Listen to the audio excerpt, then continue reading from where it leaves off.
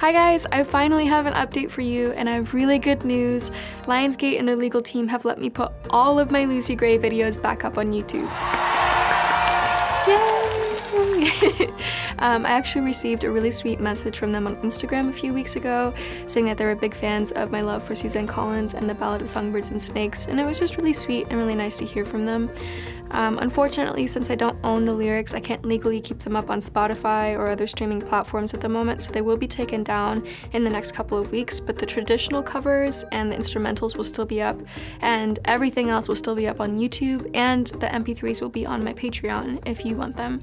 Um, so thank you, thank you, thank you.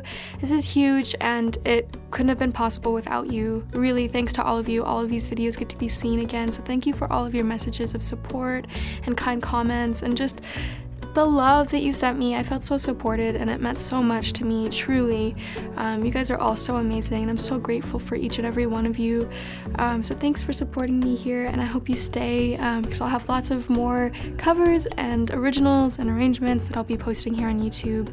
Um, so please stick around and I'll see you in the next video. Keep singing your song.